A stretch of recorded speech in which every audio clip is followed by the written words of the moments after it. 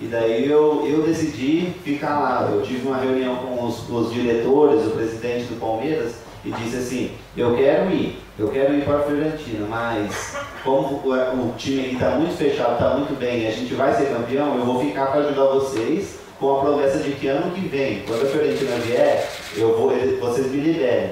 Aí a gente entrou nesse acordo e acabou que deu tudo certo, né? Ano passado não conseguimos conquistar o título do Campeonato Brasileiro, que não ganhava mais de 20 anos lá o Palmeiras. E, e daí esse ano a Fiorentina voltou a me procurar e a gente conseguiu chegar num acordo. Lui dice che l'anno scorso si era stato ricercato appunto per giocare per la Fiorentina, però che era al Palmeiras, quindi la squadra viveva un momento positivo e quindi lui riteneva eh, insieme anche con i vertici della squadra di non lasciare la squadra in quel momento perché era convinto che si potesse arrivare comunque alla vittoria anche nel campionato eh, come vittoriosi, quindi si è messo d'accordo con i vertici della squadra che rimaneva però con la condizione che poi l'anno successivo, quindi questo, che potesse essere trasferito alla Fiorentina.